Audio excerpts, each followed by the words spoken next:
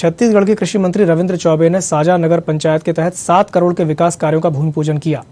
इसके साथ ही स्थानीय लोगों से सौजन्य मुलाकात की। कार्यक्रम के तहत कृषि मंत्री चौबे ने मंगल भवन, साहू समाज के भवन और गौठान निर्माण कार्य का लोकार्पण किया। कार्यक्रम में कोरोना योद्धा स्वास्थ्य कर्मचारियों का सम्मान किया गया।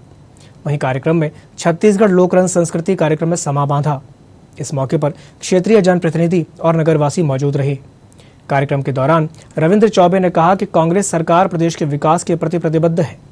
हाल ही में साझा अस्पताल निर्माण की बुनियाद रखी गई है। मंत्री चौबे ने स्थानीय किसानों से भी चर्चा की और उनकी समस्याओं पर विचार किया।